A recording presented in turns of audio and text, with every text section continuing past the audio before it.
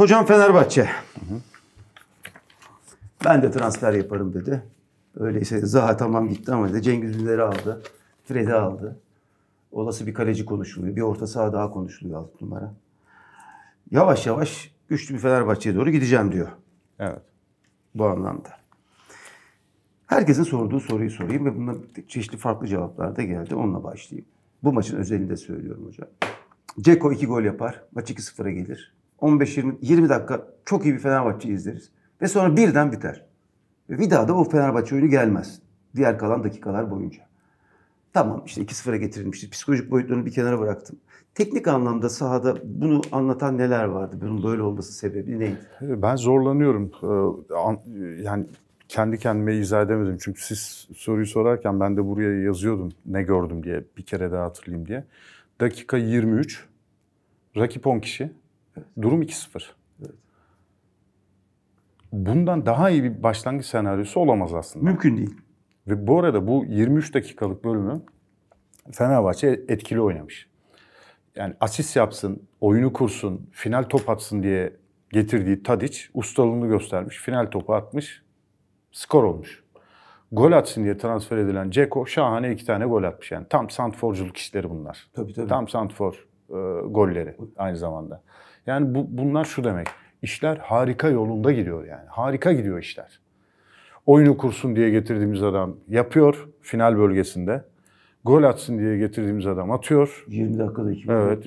23 dakikada 2-0'a getirmişiz. Rakip 10 kişi kalmış. Her şey bizim lehimize. 50 bin çılgınca destekten de taraftar var.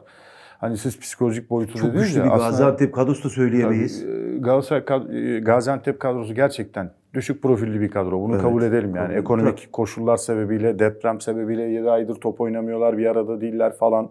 Birçok sebebiyle faktör var. Çok sayıda faktör var. Zayıf bir kadroya karşı bu psikolojik avantaj, skor avantajı. Bütün avantaj kalemlerinde e, Fenerbahçe çok önde. Yani 2-0'dan sonra beklenen 3'e 4'e 5'e götürmesi, hemen fiş çekmesi, rakibinin gardını tamamen düşürmesi, yani maçın son bölümünde işte yeni gir- gir- girecek oyuncularla oley, oley, oley diye e, seyircisini daha da coşturarak maçı bitirmesi. Böyle tamamlama bekliyorduk Fenerbahçe'den olmadı. Şimdi kendi kendime düşünüyorum. Neden olmadı? İstek mi? Hayır istek düşmedi. Oyuncular çok gayet kolay- de istekliydi. Bilmiyorum senin var mı? Ben çok kolay cevap veremedim buna. Yani. Çok Evet. açıklayamadım. Evet. Hocam saha Merakla içinden çok net cevaplar yok zaten. Yok zaten, Yani evet. saha içinden e, çok net cevaplar yok. Hani görmediğimiz bir şeyi görmüş gibi tevatür uydurmayalım veya işte gerekçe yaratmaya çalışmayalım. Hani bazen siz çok İlla- güzel söylüyorsunuz. İlla sonuca. Yani bir, bir şey oluyor, olmayacak bir şey oluyor. Bin anlam yükleyeceğiz diye. Evet. Benim anlam yükleyebileceğim bir durum görmedim. Yani oyuncuların isteği istekti. Her biri istekliydi, gayretliydi. Ama yapamadılar. E, z- rakip 10 kişi ve hakikaten profil olarak düşük Düşük profilli bir kadroydu. Üstelik de 10 kişi daha da düşük Tabii, anlamına 10 gelir. Fizik olarak Fenerbahçe'yi geride görmedim. Yani sezonun bu döneminde görebileceğimden daha aşağıda görmedim. İstekte bir azalma görmedim.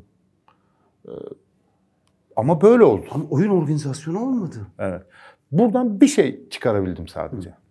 Ligimiz kaliteli değil. Hiçbir zaman kaliteli olduğunu söylemedik.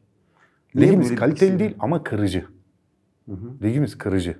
Evet. Ve e, büyük takımlar, Fenerbahçe, Galatasaray, Beşiktaş şampiyonluğa oynayan ekipler sadece niteliğe karşı mücadele etmiyorlar. Birbirlerinin niteliğine karşı ediyorlar Kaliteler da rakiplerinin kalitelerine karşı değil, kırıcılığına karşı mücadele ediyorlar. Kırıcılığı tam böyle bir açarsak hocam futbol diliyle. Hocam bir kere üçü atmadan fiş çekilmiyor bizim ligde. Evet. Üçü atacaksın. Hala yani. oyun içinde kalıyor rakip Çünkü mi? şöyle düşünüyor. 2-0 mı? Dert değil. Son 10 dakikayı bekler bizim teknik adamlarımız. Erdal e, Erdal Hoca, Güneş. Erdal Güneş. Siz sizin oyuncunuz oldu mu? Yok. Ama çok iyi Gaziantep'te. bilirim. Yok olmadı Erdal. Erdal Güneş, e, Gaziantep takımı Bizden parlayan yıldızı olarak işte bir ofansif orta saha, forvet arkası gibi. Daha sonra forvet de oynadı. E, hakikaten kaliteli bir oyuncuydu. Oranın insanı, oranın e, çocuğu. Geliş, geldi. Yıllarca Gaziantep takımında top oynadı. Anadolu'da farklı kulüplerde de oynadığı oldu. Ama genelde bulunduğu yerler, Gaziantep'in o şaşalı UEFA dönemini dışarıda tutarsak düşme potası oralara yakın, oraları biliyor. Yani büyük takımlara karşı nasıl oynandığını hatırlıyor. Flashback yaptığı zaman hafızada oyunlar geliyor. Sakıp Hoca döneminden belki Nurullah Hoca döneminden onları geliyor. teknik adam görmek de çok güzel oluyor. Evet, tabii ben- benim de hoşuma gitti. Beğendim de bu arada. evet, o kenar duruşunu çok beğendim. Evet, evet. Şimdi 2-0 ama Anadolu takımının umudu şudur. 3 olmasın. Son 10 dakika olsun. Ben yavaş yavaş kabuğumdan çıkarım. Zaten 10 kişiyim. Bir giderim. Arada bir giderim. Gitti. Eğer atarsam bir tane 2-1 olursa sıkıştırırım. Umut budur. Öyle oldu. Şimdi böyledir. O sebeple kırıp yani Fenerbahçe'nin Galatasaray'ın Beşiktaş'ın hedeflemesi gereken şu. 2-0'dan sonra fişi çekmeye oynarsınız. Kesinlikle. Üçü atacaksınız tamamen bitecek. Sonra oley oley başlar. Sıkıntı şuydu. Üçü atamadı Fenerbahçe takımı. Üçü Hedefi atamadığı hayali için bitiremedi Gaziantep kafasındaki. tabii Gaziantep'in hayalini bitiremedi söylediğiniz gibi. Gaziantep de çıkmadı, boşaltmadı sahayı. Dolayısıyla şimdi ben sonucu şuraya bağlayacağım. 2-0'dan sonra girdiği pozisyonları değerlendirebilmiş olsaydı ki Ceko'nun bir tane direkten döneni var. Var. 2-3 pozisyonu var evet. Bu arada o pozisyona bir atıfta bulunacağım hocam. O Direkt kafayla vurduğu pozisyon. Yok yok ayakla. Şimdi Tadic Dur, evet, sağ hocam kenardan hatırlamaya çalışıyor. sağ Evet. kenardan kenar serbest vuruş kullanıyor. Ceza sahasının üstünden itibaren Gaziantep savunması başlıyor. Bir alan savunması var. İki kişilik baraj var. Maalesef görüntülerimiz yok onu da söyleyeyim. Görüntüler yok. Evet. Yakında gelecek ama. Gelecek inşallah. Ee, kullanıyor. Ceko en uzak noktadan şeye sinyali çekiyor Tadic'e. Yeri gösteriyor. Nereye koşacağını gösteriyor. Ve dolanarak koşacağı yönün aksine başlıyor koşuya. Kavisli bir koşuyla topla buluşmak istediği yere gidiyor. Bu ustalıktır. Yani ne yapacağını biliyor. Kafasında bir koreografi var. Ta- e, şeyin. Bir Ceko'nun. çözümü var o duran top için. Kafada bir çözümü var. koreografisi var Ceko'nun. Tadic'in de büyük ustalığı var. Raket var. Vay, hakikaten raket. Hakikaten raket. Hakikaten raket. Koşuyu takiben resmen ağzına attı hocam şey.